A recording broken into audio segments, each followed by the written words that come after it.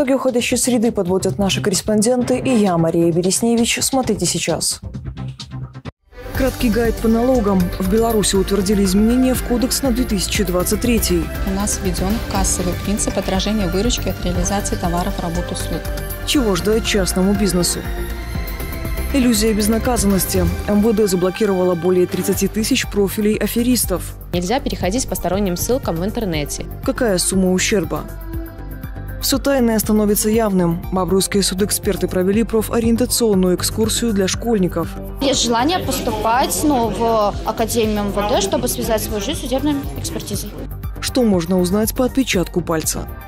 А также плодотворный визит, местный сбор и зимний прогноз. Синоптики обещают похолодание к концу недели.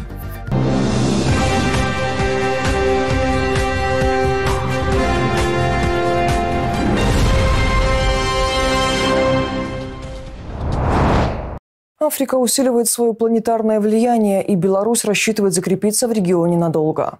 Именно так Александр Лукашенко обрисовал перспективы континента на переговорах с президентом Зимбабве и подчеркнул, Беларусь всегда готова подставить плечо. В заключительный день визита главы государств посетили крокодилию ферму и легендарный водопад Виктория. Это практически главная достопримечательность Южной Африки. Один из итогов переговоров – контракты на поставку белорусской техники. Церемония передачи состоялась накануне. Она дала старт третьей фазе программы механизации сельского хозяйства Зимбабве.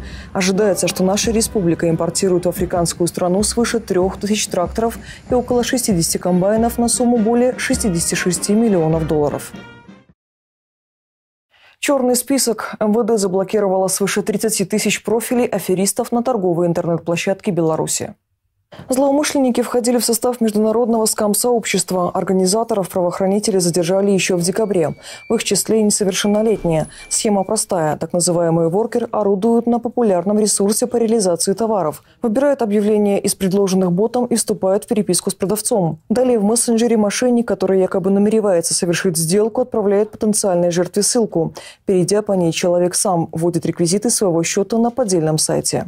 УВД Бобруйского горисполкома информирует, чтобы не стать жертвой мошенничества, нельзя переходить по сторонним ссылкам в интернете, не вводить свои личные персональные данные на незнакомых страницах, а также на своем устройстве необходимо настроить двухфакторную аутентификацию. Потерпевших тысячи речь идет не только о гражданах Беларуси, но и наших ближайших соседях. Прежде всего, это Россия и страны СНГ.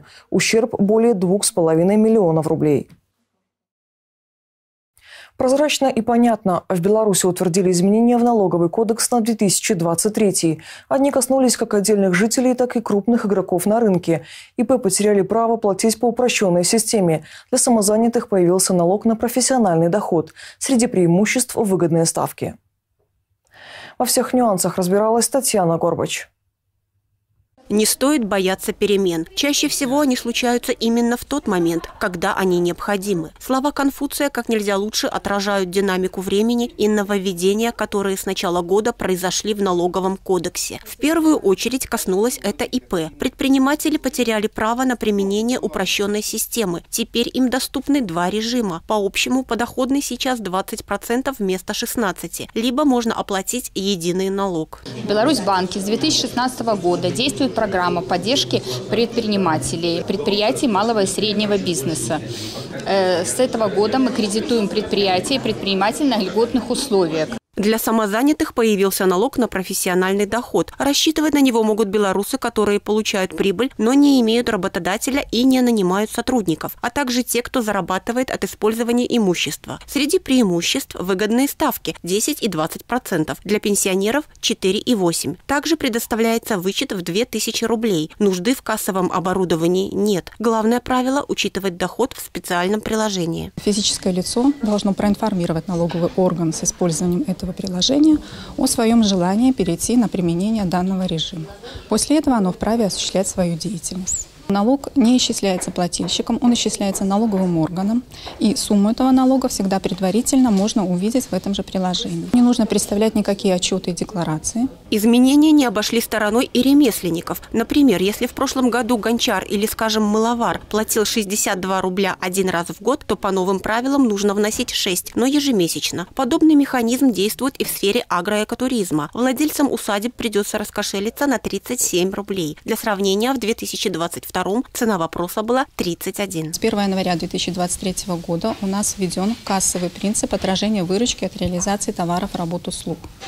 То есть э, сейчас налоговую базу для налога при упрощенной системе организации должны включать все поступления денежных средств, в том числе суммы предоплат, авансов, задатков. На 10-11% повысилась расчетная стоимость одного квадратного метра квартиры. Однако это увеличение мы увидим только через два года, а именно 15 ноября 2024, когда наступит срок уплаты за недвижимость за 2023. Что касается земельного налога, то для организации вводится система префайлинга. То есть, если раньше собственники сами предоставляли декларацию, то теперь ее будут заполнять в налоговой на основании имеющихся сведений. Далее документ будет направляться хозяину для подписания подписания и отправки в МНС. Дороже стало и содержание собак. За потенциально опасные породы придется отдать 55 рублей вместо 46. Сбор оплачивается каждые три месяца. За остальных питомцев сумма выросла до 11. Увеличились также суммы, которые не облагаются подоходным налогом. 9338 рублей вместо 8078. Это касается прибыли, которая не связана с предпринимательской деятельностью. Речь о подаренных деньгах, пожертвованиях, выплатах в виде помощи или по договорам страхования. Кроме того, без похода в инспекцию можно принимать презенты, призы и деньги на оплату путевок по основному месту работы организации или ИП, если это не больше 2821 рубля. Татьяна Горбач, Станислав Чечерин, Бобруйск, 360. Банковский кодекс, юридическая помощь и социальные выплаты. В Беларуси изменились размеры пособий по уходу за детьми до трех лет. Насколько? Громкие заголовки дня далее в специальном обзоре. В Беларуси могут ограничить размер штрафов и пений за просрочку выплат банковских займов. Проект закона уже подготовлен. Планируется запретить в договоре повышенные проценты за пользование кредитом, если человек не вернул средства в срок, а также сократить список случаев, при которых финансовые учреждения вправе требовать досрочное погашение. Ожидается, что новый кодекс исключит чрезмерную нагрузку на кредиты получателей.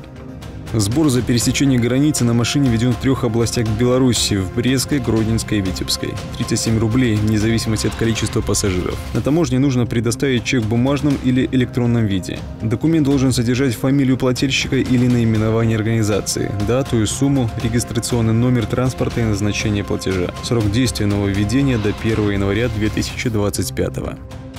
В стране повышается бюджет прожиточного минимума до 341 рубля 48 копеек. В этой связи автоматически пересматриваются различные надбавки и повышения, также отдельные социальные выплаты. Изменятся и размеры пособий по уходу за детьми до трех лет. На первого теперь положено почти 606 рублей, на второго и последующих свыше 692, на ребенка-инвалида 779.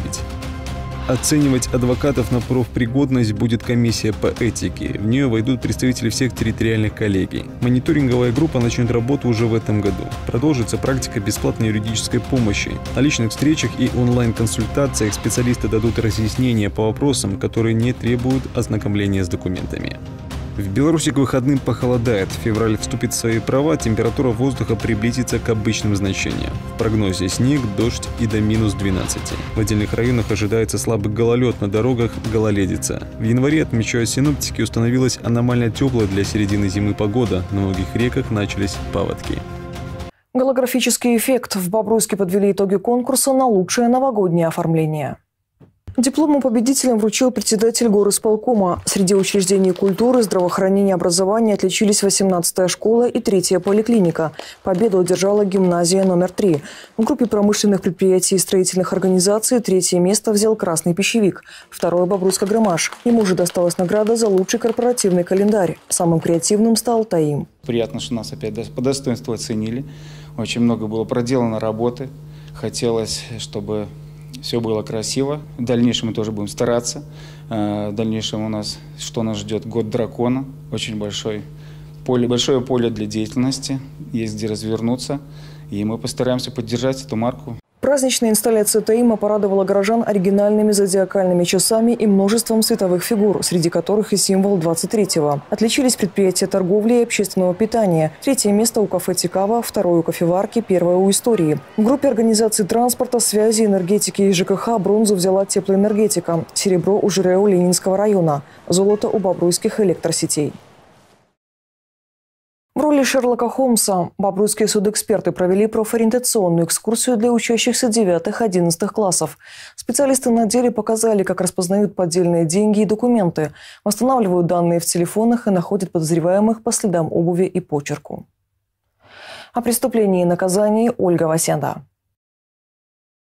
Глеб Бабков знакомится с Бобруйским межрайонным экспертно-криминалистическим отделом. Курсант третьего курса Академии МВД проводит трассологическую экспертизу, делает слепок подошвы и анализирует протектор на наличие улик, волос, пыли или жидкости, ищет вещественные доказательства. Меня это заинтересовало, особенно э, та часть, когда, как и в сериалах, э, человек, который ищет э, следы, человек, который выявляет, исследует их. Мне это показалось достаточно интересным. И я решил свою жизнь связать с этой профессией. Бобруйский межрайонный отдел осуществляет проведение различных судебных экспертиз э, по уголовным гражданским делам, делам административных правонарушениях, также экономическим делам. На профориентационной экскурсии учащиеся 9-11 классов. Криминалист на примере показывает, как проверяют на подлинность купюры и паспорта. Эксперт-почерковед устанавливает исполнителя подписи и даже его позу при письме. Определяет и при каких условиях была сделана запись. Судэксперты предлагают школьникам сразу 9 локаций. Чтобы обнаружить отпечатки пальцев, применяют дактилоскопический порошок. Наносят его специальной кистью, благодаря чему выявляют нужный след. Копируют на отрезок скотча и наносят на бумагу. Экспертиза вызывает у ребят неподдельный интерес. Каждый пробует провести исследование самостоятельно. С помощью отпечатка пальца можно узнать пол подозреваемого, возраст, выявить шрамы и порезы, а это значительно упрощает поиск. Побыть самому на месте эксперта, оно довольно интересное, оно совсем отличается от теории. Потому что когда на практике ты берешь отпечатки, с порошком проводишь э, по предметам, чтобы найти их, ну, это совершенно по-другому воспринимается. Рассказали интересно, нам понравилось очень. Эмоции положительные. Честно, есть желание поступать ну, в Академию МВД, чтобы связать свою жизнь с судебной экспертизой. От лодки до домкрата. Учащиеся оказываются в передвижной криминалистической лаборатории. Немые свидетели каждой отдельной трагедии, ДНК из капли крови, слюны или любого другого биоматериала. Сегодня список возможностей экспертов растет почти в геометрической прогрессии. За почти 10 лет существования ведомства раскрыты тысячи запутанных дел. Достигнуть высоких результатов стало возможным благодаря инновационному оснащению и профессионализму специалистов. Ольга Васенда, Максим Галеонко, Бобруйск, 360. Сразу после нас «Сирена», а моя коллега Кристина Ариан с обзором криминальных новостей недели. Не пропустите. Это все из событий к этой минуте. Смотрите нас в интернете и соцсетях. Мы в эфире каждый будний вечер. Счастливо.